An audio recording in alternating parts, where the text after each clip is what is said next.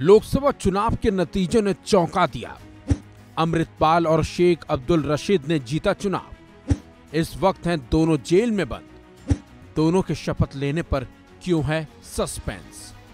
लोकसभा चुनाव 2024 के नतीजे आ चुके हैं। एनडीए की सरकार बनना भी तय है और नरेंद्र मोदी का तीसरी बार प्रधानमंत्री बनना भी अब पक्का हो चुका है। लेकिन इस बार के नतीजों ने हर किसी को चौंका दिया है। क्योंकि जिनकी उम्मीद नहीं थी, उन्हें जनता का समर्थन मिला और जिनकी उम्मीद थी, उन्हें जनता ने नकार दिया। लेकिन दो ऐसे लोगों के नाम शामिल हैं इसमें, जो सांसद बने हैं, जिनका नाम सुनते ही सबके होश भी उड़ गए। उनमें एक नाम पंजाब की खडूर साहिब सीट से जीत कर आए अमृतपाल सिंह का है और दूसरा नाम जम्मू कश्मीर की बारामूला सीट से चुनाव जीतने वाले शेख अब्दुल रसीद उर्फ़ इंजीनियर राशिद का है। यहाँ आपको ये बता दें, अमृतपाल सिंह पर खालिस्तान समर्थक एजेंडा फैलाने का आरोप है। उसे गिरफ़्तार करके असम की डिब्रूगढ़ जेल में भेज दिया गया था, जबकि कश्मीर में दहशत गर्दों को फंडिंग करने के आरोपी इंजीनियर राशिद 9 अगस्त 2019 से तिहाड़ जेल में बंद हैं।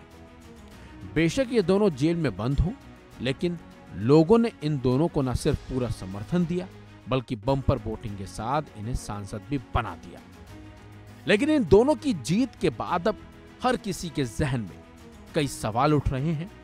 उनमें से एक सवाल सबसे बड़ा ये है कि क्या ये दोनों दूसरे सांसदों के साथ शपथ लेंगे और उनके साथ सदन की कार्यवाही में हिस्सा ले सकेंगे? तो इन सवालों का जवाब भी आखिरकार मिल ही गया। कानून के जानकार बताते हैं कि इसके बारे में नियम बहुत साफ़ है।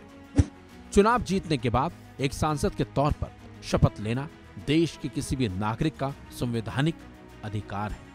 अब इस मामले में देखा जाए तो अमृतपाल सिंह और इंजीनियर राशिद दोनों जेल में हैं। इसलिए उनको शपथ लेने के लिए संसद भवन में आने के लिए स्पेशल मंजूरी लेनी होगी। शपथ लेने के बाद उन दोनों को बैरंग वापस जेल में लौट जाना होगा। मगर उन दोनों को संसद की कार्यवाही में हिस्सा लेने की अनुमति नहीं दी जा सकती है। लेकिन इसके अलावा कभी भी इन दोनों की संसद सदस्यता रद्द होने का खतरा भी बना रहने वाला है। जैसे अमृतपाल सिंह या इंजीनियर रशीद को दो साल से ज़्यादा की सजा होगी, वे दोनों संसद की सदस्यता के अयोग्य घोषित कर दिए जाएँगे। सुप्रीम कोर्ट ने अपने फैसले में साफ़ कहा है कि दो साल से ज़्यादा की सजा पाने वाले सांसदों का सदस्यता को तत्काल प्रभाव से खत्म कर दिया जाना है।